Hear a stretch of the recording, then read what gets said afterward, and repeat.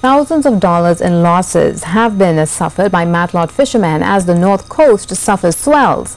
The president of the Matelot King Fishers Association told CNews between 28 and 30 fishing boats have been damaged due to huge swells. On their Facebook page, they posted some footage of the coastline where the rough waters ravaged the coast, the water battering the vessels. even.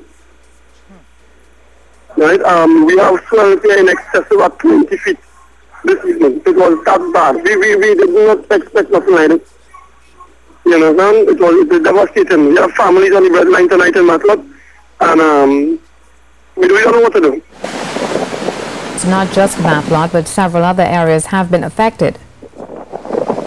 Uh, some friends from Castara to the road WhatsApp me some messages that in Castara and all got flooded to the sea, straight up to the road. So it looks like it's not just Matelot alone, like it's a after the road issue and the northeast. I heard Blanchard has experienced some damages today. I heard um, Grande Riviere and Toco. I'm not too sure, I can't confirm because people are just talking, but um, know, being the um, president of the association, and people would call and give information as to what on Mingmont. Yeah. It's very bad, it's really bad. I've never seen it like this. I don't know how this fishermen are going to recover from this. It is that bad.